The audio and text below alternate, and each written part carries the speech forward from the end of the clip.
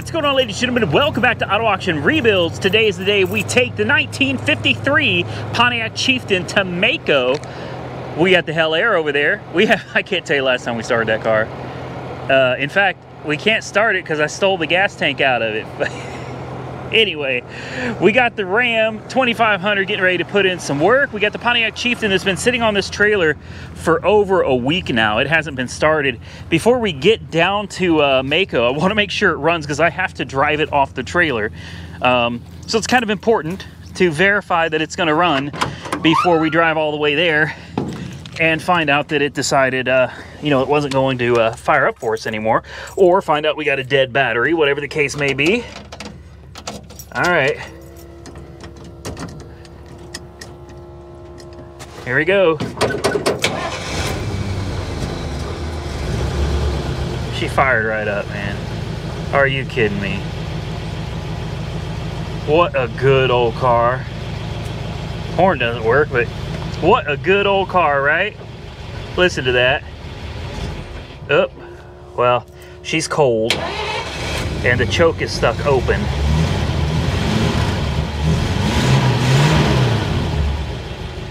Damn, she runs good.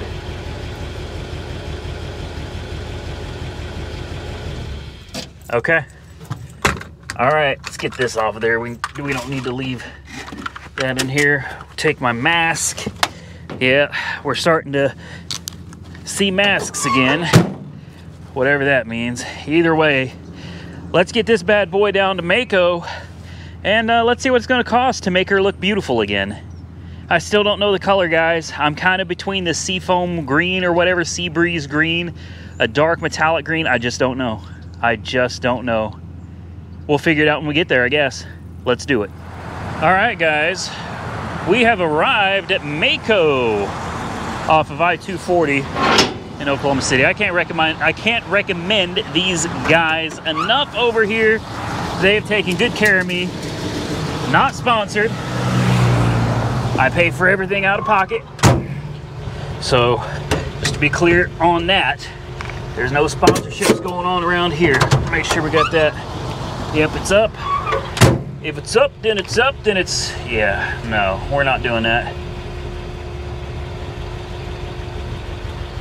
Boy, the brakes are good in this. Brakes are real good in this. Off we go. Anybody behind us better watch out. I'm coming through. Come on, girl. She's not warmed up quite yet. She's still, she's still a little cold.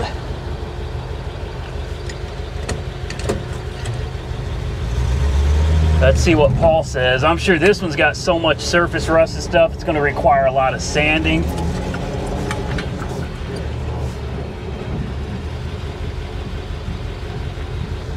I have no doubt that this one's gonna cost a little bit more than probably what I'm hoping.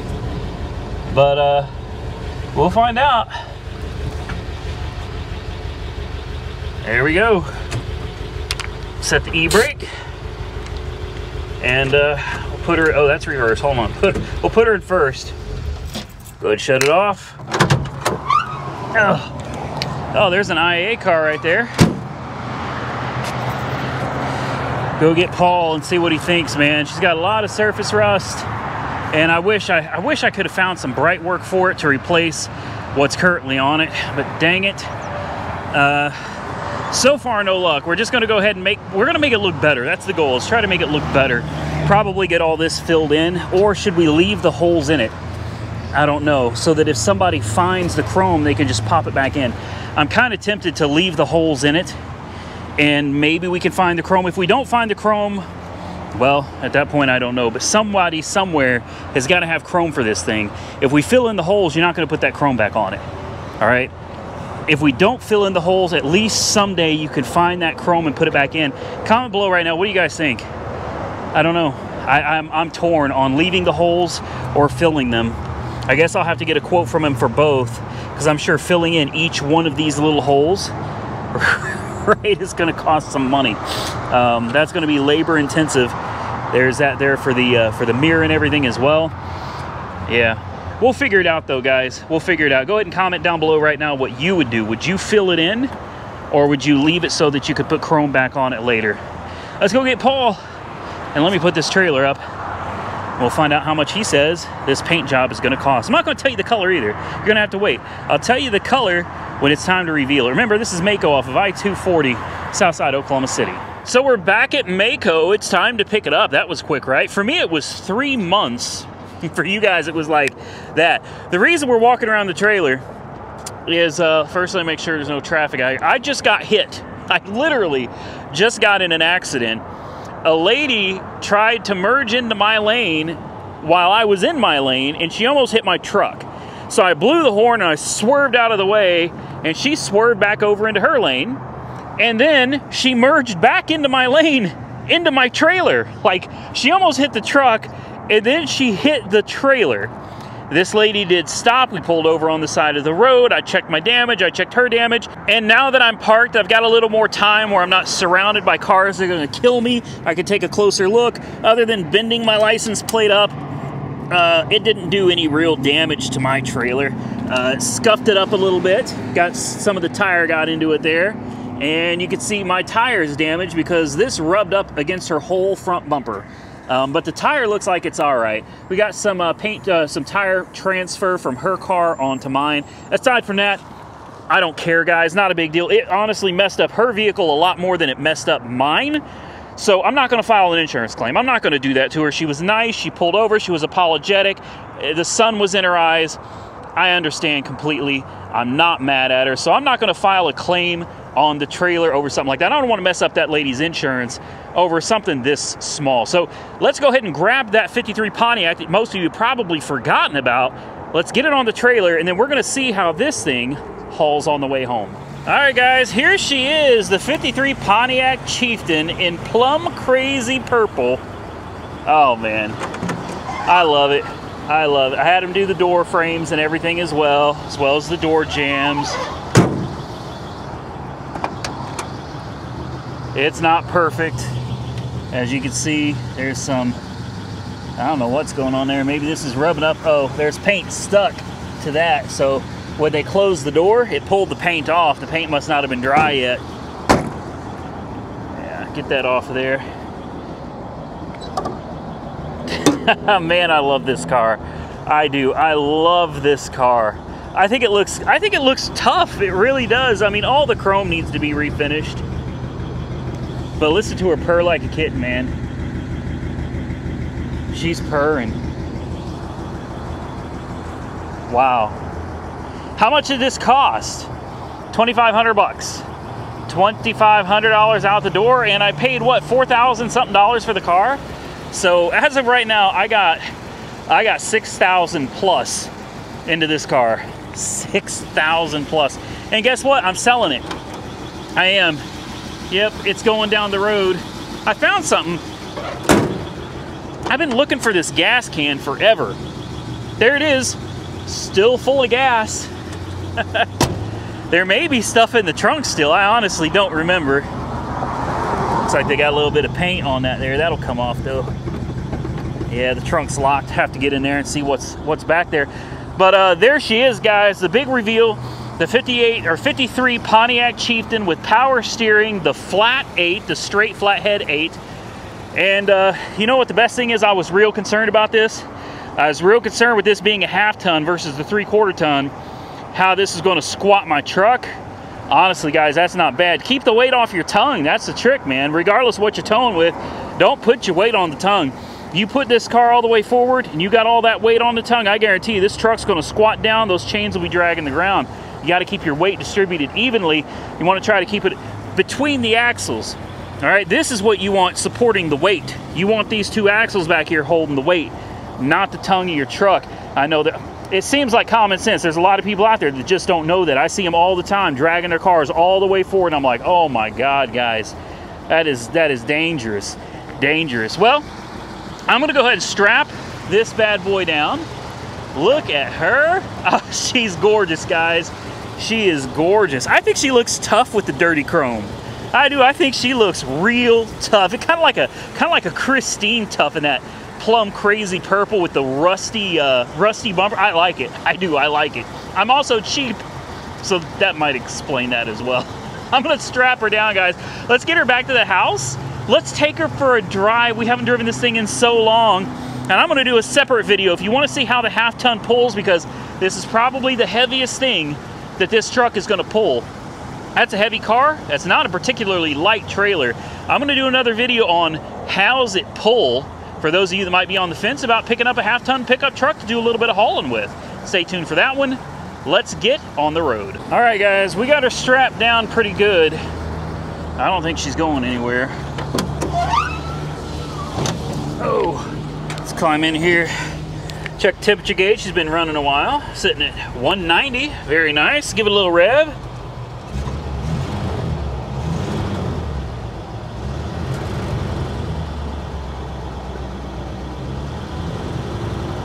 All right, she seems good. Let's see if she'll start back up on her own. Nope. All right, well, it is what it is. Uh-oh. This window is stuck now. Great. All right, we got it fixed. we got the window up. Man, I I hate having to send this thing down the road. I really do. Unfortunately, there's just so much going on right now, guys. There's no way I got time for this. There's so much left to do. And uh, yeah, it's just not in the cards for this old girl, but she'll be at Insurance Auto Auction soon, and maybe one of you will bid on it and put her back together. All right, guys, we made it. We made it, and I did an entire short dedicated video on how this truck did compared to the 2500s that I've had hauling and riding. I, I, did. So there, there'll be a video on that very soon. Don't miss it. I think you'll be surprised um, at how I felt about it. Uh, honestly, um, I'm. I'll tell you this. I am surprised. I'm surprised the way I feel about pulling a heavy ass load like this with a half ton truck versus the three quarter ton diesel that I'm used to pulling with. I'm gonna go ahead and get this thing unstrapped. We know the battery's dead. That sucks. I, I'm surprised the battery has has kind of given out on it so early. Oh, shoot, I can't open this one-handed. You know what, guys? I thought that battery was dead. There's a light on it. Oh, she's dead. Never mind. There she goes. She's dead. All right, let's get the booster pack. We'll let it charge up, I guess, for a minute, and then we'll get her off the trailer. Well, we're losing daylight here. Look at look at that Pontiac emblem, man, or that Chief. God, I love this car. I love this car.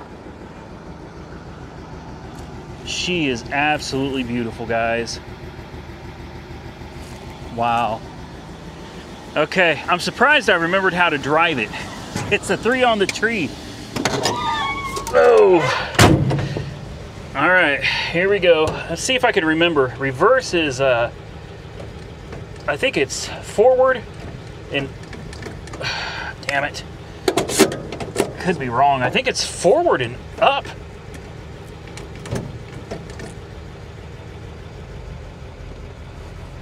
Yeah, there it is. Yep. Forward and up. Okay. Here we go.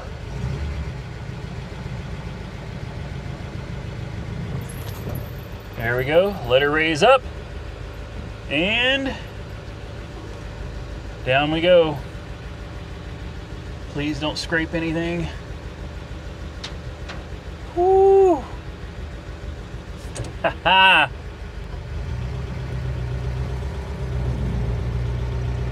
All right. Now we're cooking with grease. Old boy's got a power steering too. Look at this. Power steering. Let's get her parked by the garage real quick.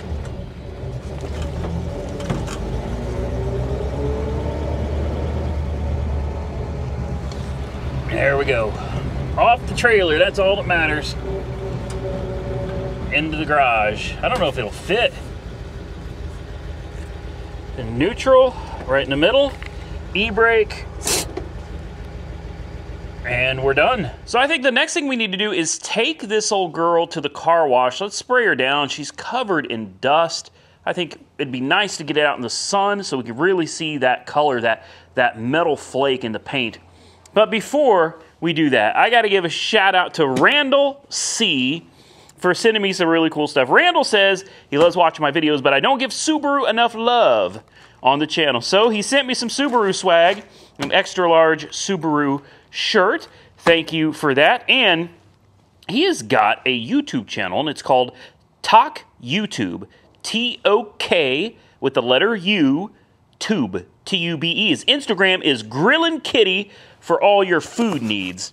We got some more Subaru swag, a koozie. I could actually use this right now for my can of Coke. And this is probably my favorite part. My favorite part. This is Burgerville's original spread. I love Burgerville out in the Washington, Oregon area. Thank you for that. That was super cool. What else we got in here? I haven't even had a chance to look at all this. Subaru, what is this? What is that? I don't, I don't know what that is. I'm not going to open it all on here, guys. Uh, Subaru Rally Team USA jelly beans. I, I do love jelly beans. All right, we got a, a Subaru pouch. All right. Well, this dude was not messing around. Subaru WRX STI. What is this? There used to be something in this. I don't think there's anything in this anymore. Nope, whatever was in that is gone. What is this? Uh-oh, I gotta open this. Let's see.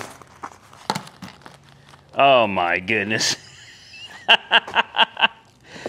okay, I know what that is now. I know what this is. These are poop bags. These are poop bags for you.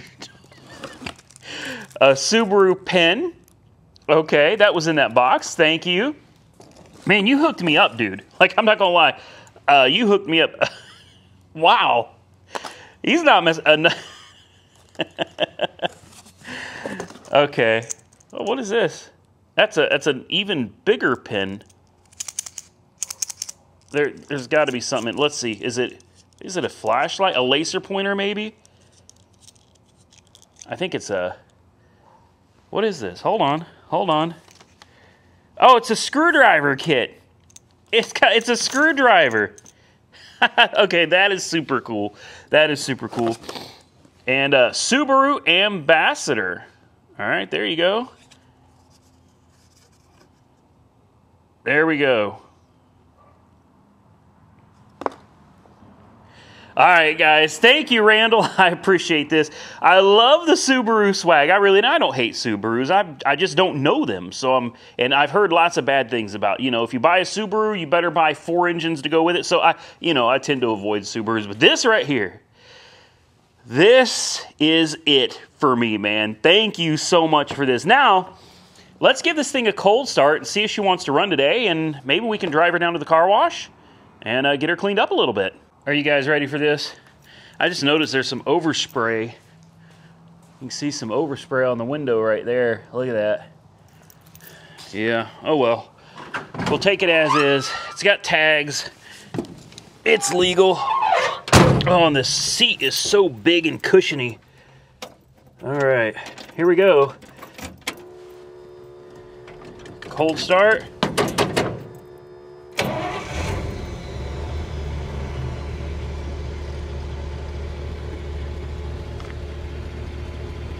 Okay. Okay. I think this is the best it's ever started. I think, ooh, that is just awful. I'm going to have to get that off. I'm going to have to get that off. Uh, reverse is up. I think forward and up. Oh, she's she's a little hesitant. Let's see. Uh, well, it'd help if you turn the e-brake off, Randy. That would help a lot.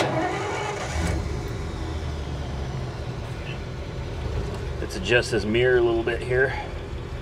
All right, car wash. We haven't had this thing out driving around in a while. Here we go. Here we go.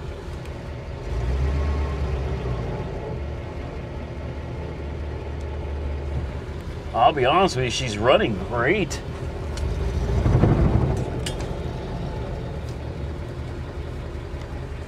All right.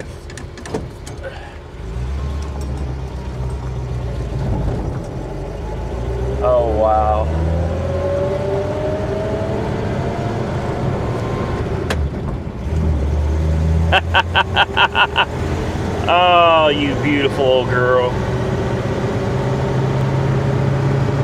What a beauty.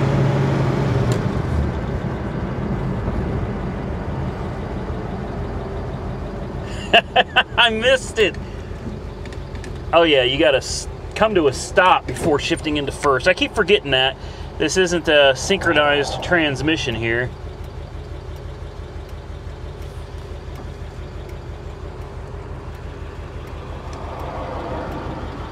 We got a bit of traffic, guys, so we'll come back when I'm free to go. Well, guys, here she is. Third gear. Uh, I don't have it all the way in gear. I do that a lot, man. I'm not good with this. I'm really not good with this. I had it kind of halfway engaged in gear and halfway not. So here's what I'm gonna do. I'm gonna clean this old girl up, man. Um, that's reverse. Forward and down is first. There we go. There we go. We're gonna leave it just like that, set the e-brake. We're gonna give her a quick bath. We're gonna see what she looks like cleaned up. All right, she got a bath. now we're out just cruising, man. You know, 45 miles an hour. She really cruises, no issue at all.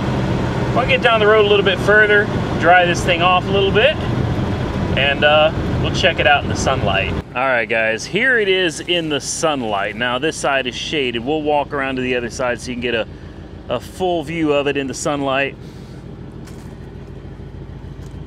She's running great. She made it to, and I stopped and filled up the gas tank too. The gas gauge doesn't work on this. So I went ahead and filled up the gas tank with 91 octane fuel. Even though the gas gauge says empty, it is full. It is absolutely full. I didn't want to risk somebody getting the car trying to drive it and they end up running out of fuel, man. So uh, yeah, I did the right thing. We put some gas in her, guys. Look at that beautiful color. I'm gonna get you a little bit closer up to it. You can really see the metal flake in the paint. Now I know there's still a lot of work to be done. The bright work, especially up here, is in pretty poor condition. I don't know what to do about that. There's really nothing I can do about it. I'm out of time with this car. I didn't realize it's going to be three months in the paint shop. I'm not complaining about it, but things have changed in the last three months. We bought a new house. We've got some new projects going, so this one's going to have to go to auction, guys. But take a look at this paint. Look at all the metal, the metal flake in that paint. I mean, they did a great job. When you consider this is a $2,500 paint job, I really don't know how you could complain about it, like, at all. How could you complain about this paint job for 2500 bucks? Look at that.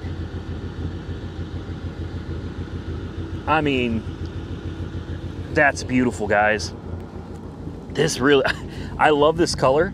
I'll have to do this again. We got some grass on here from from driving, but uh, we'll have to do this color again sometime. Look at that. Can you believe this quality?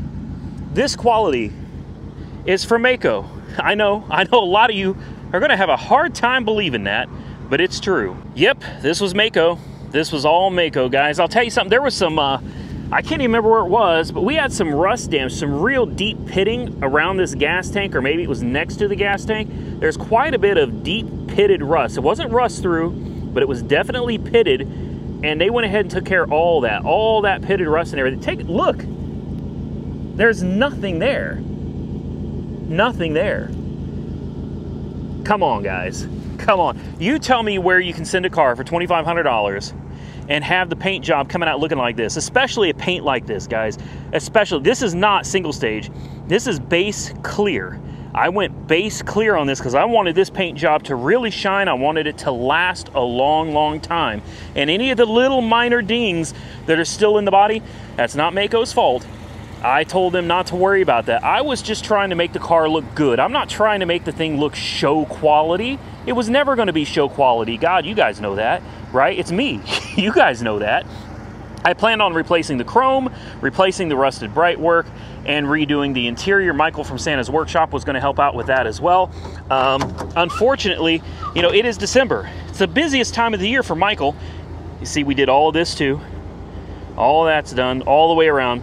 Um, so he's swamped, but I'm sure you know he would still be willing to help me take on this project.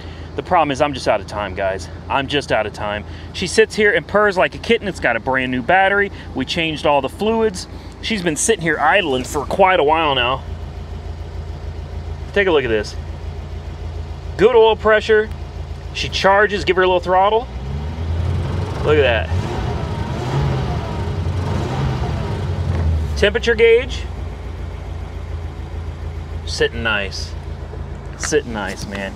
For what it is, she's a good car.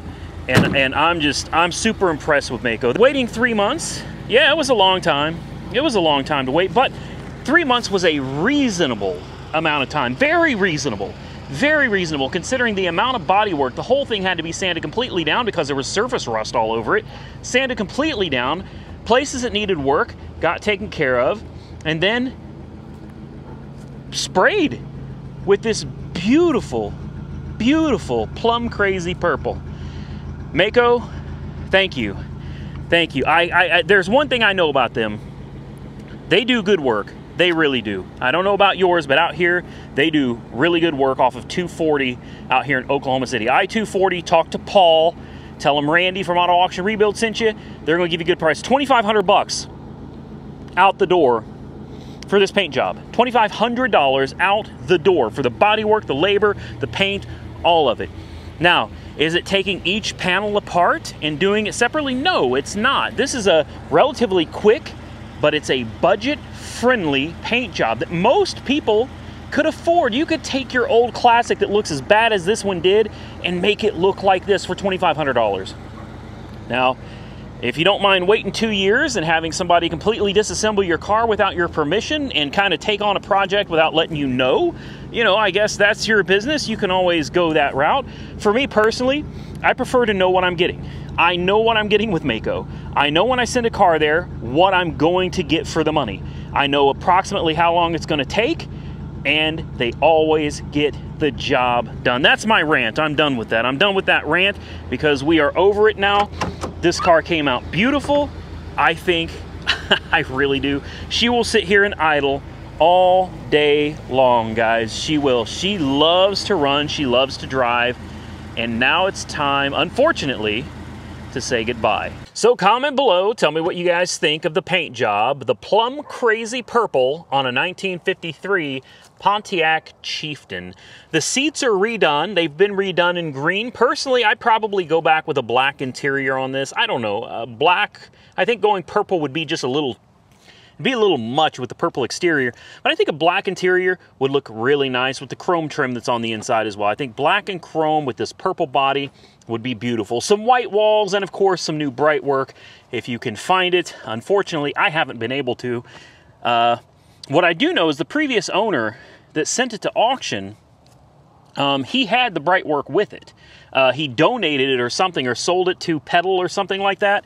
And at some point between when he had it and when it got to auction, all of the chrome that came with the car, he had all of the chrome, it all disappeared. Sucks. That's the way it goes sometimes. So this car is not going to be at auction yet. So if you're looking for the link to this car in the description box, it's not going to be there. I'm going to have to make a dedicated video for this car when it goes to auction. By the time you see this video, I'm going to assume it'll probably be about a week before it goes to auction. Um, Insurance Auto Auction uh, runs on Wednesdays out here in Oklahoma City. So remember, it will be at Insurance Auto Auctions and it will be a Wednesday that this car will go up for sale, but it will not be this particular week. Again, I don't know if I'm going to release this video today or next week. Just stay tuned. I'll do a dedicated video for this car when it's ready to go up for auction. So if any of you are interested in bidding on it, you know it runs, it dries. Hell, we've driven it probably a 100 or so miles. We drove it highway speeds to a car show down in Pauls Valley. The car does great. We've done a lot of uh, basic maintenance stuff to it. The brakes, by the way, are excellent. Tires are basically new. They look like they're in brand new condition. The car is great. I wouldn't recommend trying to drive it across the country, but, you know, buyer beware. you can do whatever you want with it as soon as you pay for it. Drop those comments below. Tell me what you think of the Maaco paint job, man, for 2500 bucks. I, I, I think you can't beat it. I really do. I think you cannot beat it. And with that, I'm going to get out of here. Stay safe out there, everybody. Hope you enjoyed the video. If you did, hit the thumbs up button. If you didn't, hit the thumbs down button. definitely drop your comments below. Subscribe to the channel if not currently subscribed. I will see you all very soon in the next one.